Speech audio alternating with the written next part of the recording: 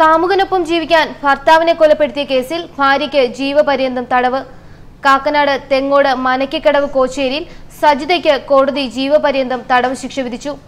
ഭർത്താവ് പോൾ വർഗീസ് കൊല്ലപ്പെട്ട കേസിലാണ് സജിതയ്ക്ക് ശിക്ഷ വിധിച്ചത്. രണ്ടായിരത്തി പതിനൊന്ന് ഫെബ്രുവരി ഇരുപത്തിരണ്ടിനാണ് കേസിനാസ്പദമായ സംഭവം നടന്നത്. ഭർത്താവിന്റെ ബന്ധുവായ യുവതിക്ക് കല്യാണം ആലോചിച്ച് പരസ്യം നൽകിയതിനെ തുടർന്നുണ്ടായ സൗഹൃദവും പ്രണയവുമായിരുന്നു കൊലപാതകത്തിലേക്ക് വഴിമാറിയത്. യു കെയിൽ ജോലി ചെയ്യുകയായിരുന്ന ടിസൺ തുടർച്ചയായി സജിതയുമായി ഫോണിൽ ബന്ധപ്പെടുമായിരുന്നു. അടുപ്പം പ്രണയത്തിലേക്ക് വഴിമാറിയതോടെ ടിസൺ കുരുവിളയ്ക്കൊപ്പം ജീവിക്കണമെന്നായി സജിതയ്ക്ക്. എന്നാൽ മക്കളെ ഒഴിവാക്കാനും പറ്റില്ല. തന്നോടൊപ്പം യു കെക്ക് പോരാനായിരുന്നു ടിസൺ സജിതയോട് പറഞ്ഞിരുന്നത്. എന്നാൽ മക്കളെയും കാമുകനെയും സ്വന്തമാക്കാനുള്ള ഏക വഴി ഭർത്താവിനെ കൊല്ലുകയാണ് എന്ന് വിശ്വസിച്ചാണ് അവർ കടുങ്കൈക്ക് മുതിർന്നത്. എല്ലാം കഴിഞ്ഞാൽ കാമുകനൊപ്പം യു കെക്ക് കടക്കാനായിരുന്നു പദ്ധതി. ടിസൺ നാട്ടിലുള്ളപ്പോൾ തന്നെ അതിനുള്ള സാഹചര്യം അവരുണ്ടാക്കി. തുടർന്നാണ് അമിത അളവിൽ മയക്കുമരുന്ന് കൊടുത്ത് ഭർത്താവിനെ ഉറക്കിക്കിടത്തിയ ശേഷം കഴുത്തിൽ തോർത്തുപയോഗിച്ച് മുറുക്കിയും മുഖത്ത് തലേണ വെച്ച് അമർത്തിയും കൊലപ്പെടുത്തിയത്. പോൾ വർഗീസിനെ വാഹനാപകടം സൃഷ്ടിച്ച് കൊലപ്പെടുത്താനും ആലോചിച്ചിരുന്നുവെന്ന് ടിസനും സജിതയും പോലീസിന് മൊഴി നൽകി. പ്രഭാത ഭക്ഷണത്തിൽ ഉറക്ക ഗുളിക കലർത്തി നൽകിയാൽ ബൈക്കിൽ പോകുമ്പോൾ അപകടം സംഭവിക്കുമെന്നായിരുന്നത്രേ കണക്കുകൂട്ടൽ. എന്നാൽ അപകടത്തിൽ മരിക്കാതെ ഗുരുതരമായി പരിക്കേറ്റാൽ നീക്കം പാളുമെന്ന് ടിസൺ തന്നെ പറഞ്ഞതിനാൽ കിടപ്പുമുറിയിൽ വെച്ച് കൊലപ്പെടുത്താൻ തീരുമാനിക്കുകയായിരുന്നു. കാമുകിക്കൊപ്പം ജീവിക്കാൻ സജിത അവരുടെ ഭർത്താവിനെ കൊന്നതുപോലെ തന്റെ ഭാര്യയെയും വകവരുത്താൻ തീരുമാനിച്ചിരുന്നതായി അന്ന് ടിസൺ പോലീസിനോട് പറഞ്ഞിരുന്നു. യു കെയിലുണ്ടായിരുന്ന ഭാര്യ അവധിക്കെത്തുമ്പോൾ മലമ്പുഴ ഡാം പരിസരത്ത് കൊണ്ടുപോയി കൊല്ലാനായിരുന്നു പദ്ധതി എന്നാണ് പറഞ്ഞത്. യു കെയിൽ നഴ്സായ ഭാര്യയുടെ കുടുംബ വിസയിലാണ് ടിസനും യു കെയിലെത്തിയത് സൂപ്പർ മാർക്കറ്റിൽ സെയിൽസ്മാനായിരുന്ന ഇയാൾ ഭാര്യയ്ക്കൊപ്പം ഒരുമിച്ച് നാട്ടിലേക്ക് വരാനാണ് ആദ്യം തീരുമാനിച്ചിരുന്നത്.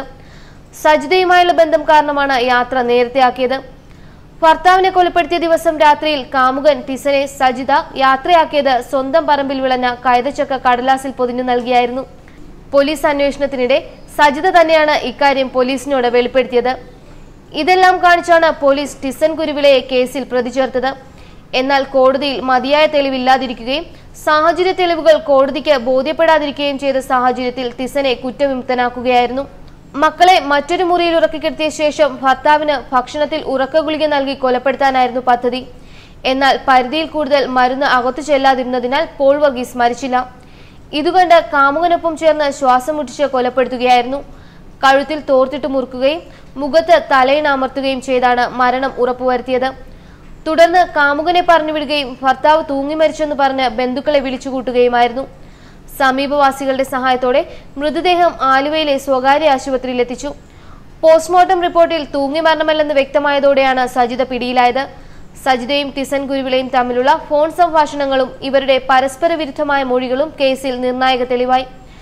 പോലീസ് അന്വേഷണം ശക്തമാക്കിയപ്പോൾ ഭർത്താവ് തൂങ്ങി മരിച്ചതാണെന്നും ജീവനുണ്ടെന്ന് സംശയിച്ച് ആശുപത്രിയിൽ എത്തിച്ചതാണെന്നും നാണക്കേട് ഭയന്നാണ് പുറത്തു പറയാതിരുന്നതെന്നും ഭാര്യ മൊഴി നൽകി. തൂങ്ങാൻ ഉപയോഗിച്ച കയർ അടുപ്പിലിട്ട് കത്തിച്ചു കളഞ്ഞെന്നും അവർ പോലീസിനോട് പറഞ്ഞു. സംഭവത്തിൽ കൂടുതൽ ദുരൂഹത തോന്നിയ പോലീസ് വിശദമായ അന്വേഷണത്തിലൊടുവിലാണ് ഭാര്യയെയും യുവാവിനെയും കസ്റ്റഡിയിലെടുത്തത്. സ്വന്തം വീട്ടിലുണ്ടായ സംഭവത്തിന് ഇവർ തന്നെയാണ് ഉത്തരവാദിയെന്നാണ് ജീവപര്യന്തം ശിക്ഷ വിധിച്ചുകൊണ്ട് കോടതി പറഞ്ഞത്. പോസ്റ്റ്മോർട്ടം റിപ്പോർട്ടിൽ തൂങ്ങിമരണമല്ലെന്നും വ്യക്തമായിരുന്നു. ന്യൂസ് ഡെസ്ക് മലയാളി വാർത്ത.